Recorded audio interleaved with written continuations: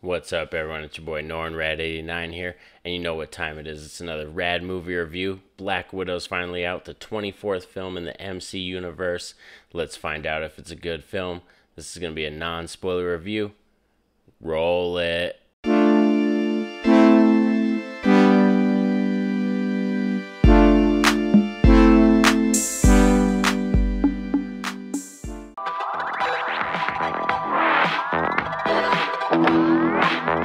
Black Widow is the most recent film in the MCU universe. It's a prequel film tackling a really personal storyline for Black Widow where we get to find more in depth stuff about her backstory. So let's find out some of the positives of this film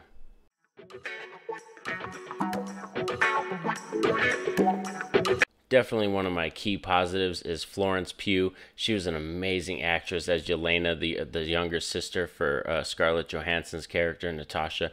Oh my God, their chemistry on screen was so amazing, and I really did like just her style and the character like the writing the char- like her comedy everything like for her character i think was amazing in this film add to that we also got some other characters that have some amazing chemistry with them as well like david harbour and rachel weisz they play the family that raised uh, Scarlett Johansson's character back in the day as a child when they were spies in America. So it's really got a lot of good like you know just hardcore chemistry between these characters because you could really feel like they're a family the way they speak and the way they talk to each other on screen. Also we have some top-notch cgi and physical fight scenes like i really did like the practical physical fight scenes. They do a lot of good job. The fight choreography was top-notch. It was really cool to look at and like i said there's a lot of other CGI scenes too that you'll really love if you're like, you know, like a huge Michael Bay fan. Like there's explosions in this film too. So, like I said, it's got a lot to offer all the different kind of action junkies out there as well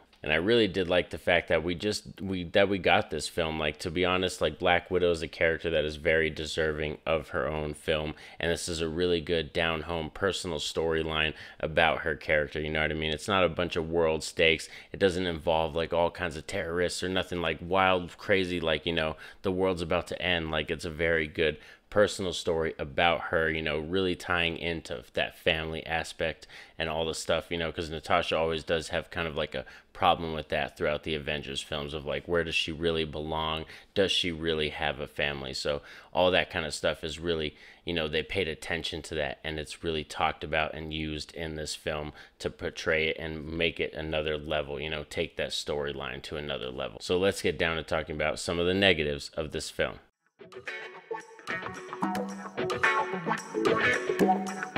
And for me, some of the negatives, I watched this film twice just so I could really nail it down when I was writing down my positives and negatives and really thinking about them. I was, you know, I wanted to watch it twice so I really knew what to think about. And my favorite, like, or my favorite, my main negative, my, of course, is uh, it's just Taskmaster. I feel like that character was so like just underwhelming, so underutilized. We have like one really good fight scene with Taskmaster, but then the rest is kind of lackluster, so I really wanted a lot more from that character in this film. Also, there is some stuff that happens in the third act. As I said, this is a non spoiler review, so I'm not going to spoil anything, but there is some stuff that happens in the third act that I feel like I'm a little confused. There's a little jumbled writing things weren't answered in that third act or I do have questions. And like I said, if you guys like this video and you want to see more, I'll probably do a spoiler discussion. That way we could dive more in depth and we could really talk about it. But yeah, there's something in that third act that does bother me with in terms of the writing and the story. Post credit scene, I really didn't feel anything from the post credit scene. I feel like the the post credit scene in this one is probably one of the weakest. It didn't offer like any ah moment or something I didn't know or like, you know, give me anything that Nick knew that I wanted. So that's kind of another thing that I was just like, eh, I was like a little bit just mediocre on like nitpicky style maybe. But overall in my book for the Radd rating black widow's gonna get an 8 out of 10 like i said this is definitely still a hardcore very enjoyable marvel film. I would highly recommend spending your money and going to check it out in theaters because it's going to keep you entertained. It's got some really good chemistry on screen between the actors, some top notch action for all you action junkies, and a really good kind of down home personal story for Black Widow for all those really big Marvel fans out there that really do love her and wanted to see this film. I think it's going to do you all justice. Thanks for sticking around with me all for another Radd movie review. I hope you all enjoyed it.